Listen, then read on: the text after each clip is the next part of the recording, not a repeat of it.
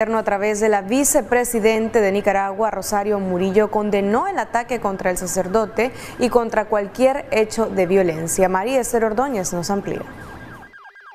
La vicepresidente de Nicaragua, Rosario Murillo, se refirió este jueves al ataque que fue víctima el padre Mario Guevara en la Catedral de Managua este miércoles mientras el sacerdote llevaba a cabo confesiones a eso de las 3 de la tarde.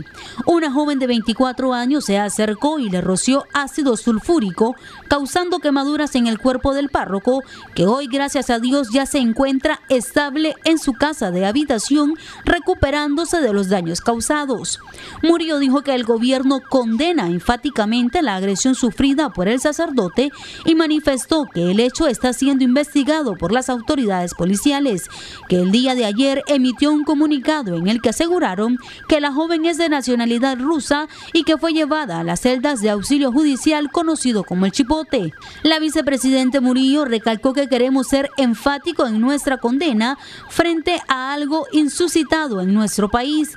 Agregó que este de acciones no se habían visto en Nicaragua y más en una iglesia, que estos ataques no corresponden a nuestras culturas y tradiciones.